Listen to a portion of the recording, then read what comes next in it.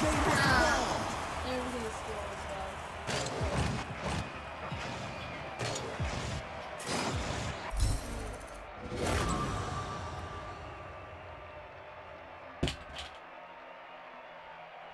my fucking god.